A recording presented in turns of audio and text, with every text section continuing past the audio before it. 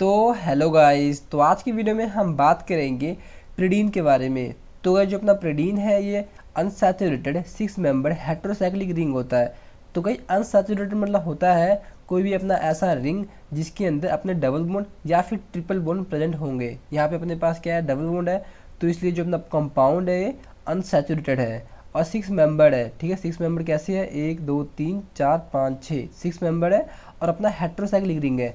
Heterocyclic ring क्या होता है गाइज़ ये ऐसा रिंग होता है जिसमें अपने पास at least one hetero atom present होने चाहिए। जैसे देखो, अपना जो हटीरियो एटम कौन सा यहाँ पर? नाइट्रोजन है, जो कि हमारा फ़र्स्ट पोजिशन पर प्रेजेंट है। तो नेक्स्ट हम बात करते हैं इसके सिंथेसिस के बारे में। तो पहला हमारे पास है फ्रोम डाई एल्डर साइक्लो एडिशन तो इसमें हम क्या करते हैं, हमने एजोडाइन का डेरिवेटिव ले लिया देन हमने ले लिया डाइनो फ़ाइल ले लिया। हमने रिएक्ट करवाया आपस में देन क्या होगा? यहाँ पे जो वाटर होगा, बाहर निकल जाएगा देन जो अपना कंपाउंड फॉर्म हो जाएगा अपना प्रीडीन का डेरिवेटिव फॉर्म हो जाएगा। सिंपल है।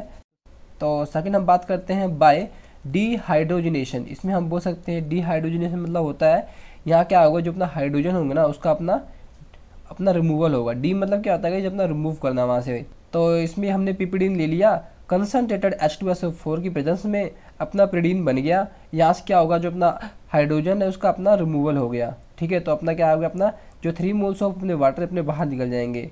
ठीक है तो देन हम बात करते हैं इसके रिएक्शन के बारे में। तो हमारे पास फ़र्स्ट है नाइट्रेशन तो क्या जो नाइट्रेशन होती है, इसमें जो हम कैटलिस यूज़ करते हैं, अपना नाइट्रिक एसिड यूज़ करते हैं। नाइट्रिक एसिड का जो फॉर्मूला होता है एच एन ओ थ्री होता है। देन क्या होता है जो अपना एच एन ओ थ्री है इसको ब्रेक करते हैं तो अपना ब्रेक होता है N two positive plus O H negative में।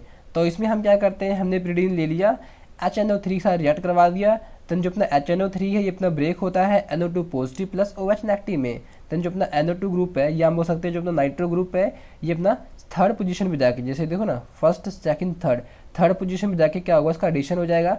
देन जो अपना कंपाउंड फॉर्म हो जाएगा थ्री नाइट्रोप्रीडीन और क्या होगा, जो अपना यहाँ का जो एच है, ये अपना ओ एच के साथ मिलकर अपना वाटर निकल जाएगा बाहर। सिंपल है। तो नेक्स्ट हम बात करते हैं सल्फोनेशन रिएक्शन के बारे में।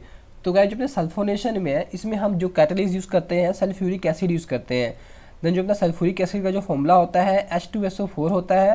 देन जब इसको ब्रेक करते हैं तो अपना ब्रेक होता है S O three H positive plus O H negative में। देन क्या करते हैं इसमें?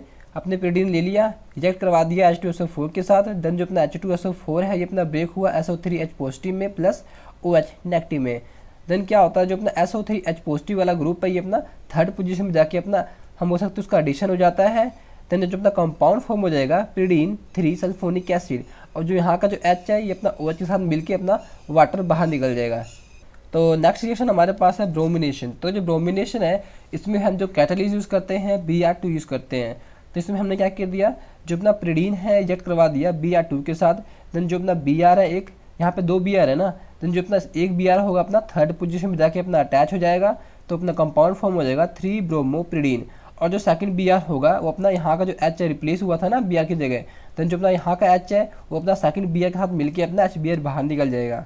ठीक है, मैंने यहाँ पे लिखा नहीं है तो आप लिख सकते हैं।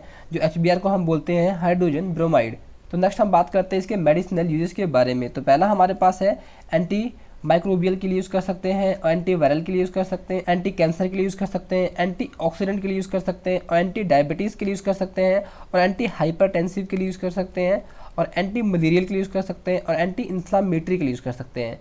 तो एंटी इन्फ्लामेटरी वे ड्रग्स होते हैं जो इन्फ्लामेशन के अगेंस्ट में काम करते हैं। ठीक है?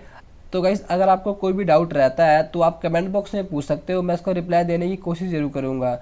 बाकी गाइज़ जो इसके नोट्स हैं, मैं आपको डिस्क्रिप्शन में अवेलेबल करा दूँगा। आप जाके डाउनलोड कर सकते हैं। बाकी गाइज़ मिलते हैं नेक्स्ट वीडियो में।